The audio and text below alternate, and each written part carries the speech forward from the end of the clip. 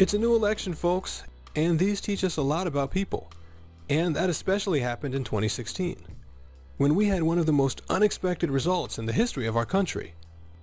There have been a lot of guesses about why people voted the way they did, but not a lot of people have seemed to focus on why the actual polls and predictions were so wrong. And that's what I'd like to talk about today. Because I think the actual answer is important for understanding not only what might happen in this next election, but also some parts of human nature that we might not understand. Now, mathematics and computers have given us amazing things, so we put a lot of faith into them, and the people who use them, especially because their results seem objective. But they aren't always. This is because every mathematical model or computer program depends on what information is put into it at the beginning, how it's set up, or what numbers or information it starts with. And this is done by people. And so, those people's opinions and tendencies can sneak their way into the programs. And I think that exactly was the Achilles heel of the election predictions in 2016, including ones by the supposed smartest and best people we had. And the same thing can happen in 2020. So, Let's talk about it. Politics deals with some of the most basic parts of people's worldviews, so discussions about it can almost never be objective. But the 2016 US election featured a candidate who used controversy to get press coverage. And so he ended up in a lot of personal fights, and he attacked people's worldviews more than we've ever seen before. And the tone of the discussion caused a lot of people to view him as a bad person in a lot of ways. His personality is developed over time to be what gets him the most attention, so it's hard to tell how much of it is his real self. But a lot of people did take it that way, and felt that he was showing a lot of qualities that should not cause a person to succeed. And that has a very specific effect on our minds, though we might not realize what it is. And that's what I want to focus on. If you watched the propaganda series here, you've got an idea where this is going. But here we're taking a step further. Because we've evolved to exist in groups, since we need other people to have children, and sharing work makes more for all of us, but in those situations, there's a key issue. We can't always evenly divide the food or shelter or mates, so we have to decide who gets the first choice. And the way we came to do that is to give the most to the people who give us the most. The best ideas, the best children, who can bring back the most food or defend us the best. Because we all benefit if they're healthy and happy. You can join my camp and have all the meat you want! And likewise, if we run out of things and someone has to go hungry, stay outside, or be left alone, the person at the bottom, the person who we think gives us the least, is the one who loses out. This means that what other people think of us is not a shallow thing. It's a matter of life and death.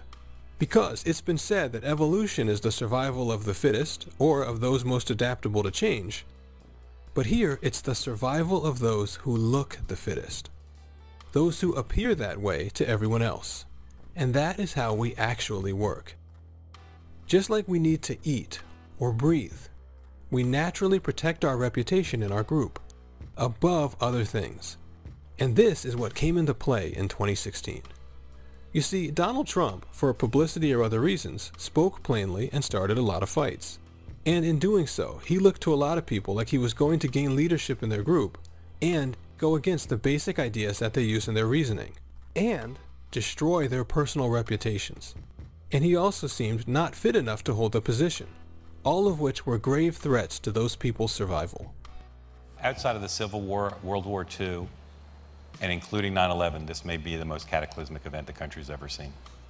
And that basic survival instinct triggered in all those people who were against Donald Trump.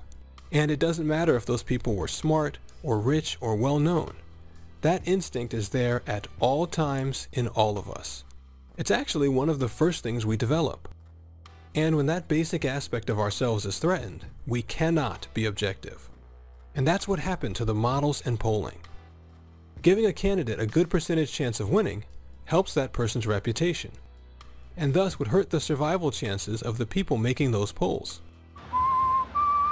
Excuse me. What were you whistling? No, it was Wagner, one of the great anti-Semites of the world.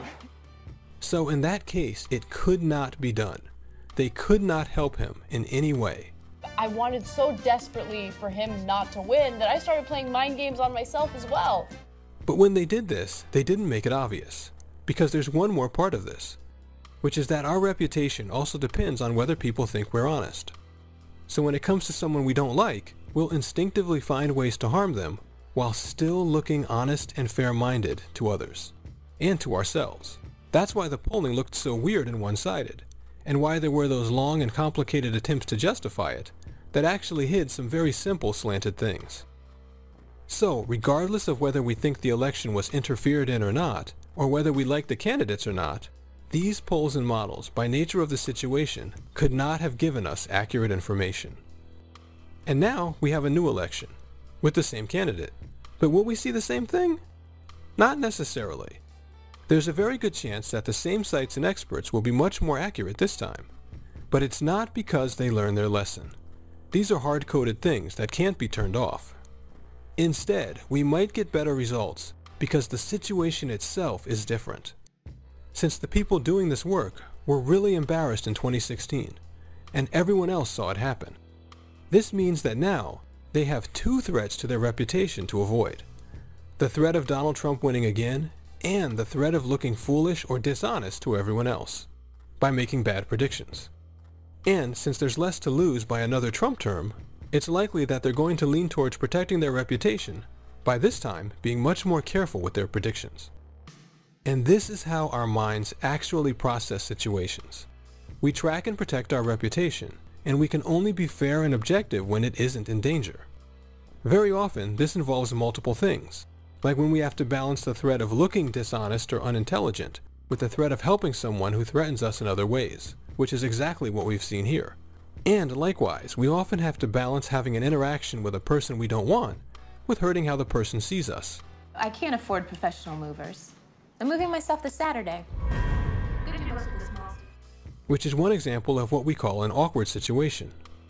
There's actually a part of our mind that is always tracking things like this. And when it detects a threat, will overrule our other actions. Okay, your turn. Go ahead, cry. No. Cry. No. And instead, it will make us defend that reputation by trying to look smart again, minimizing the mistake. I thought you said you were going to beat him. I'm out of shape, that's the reason.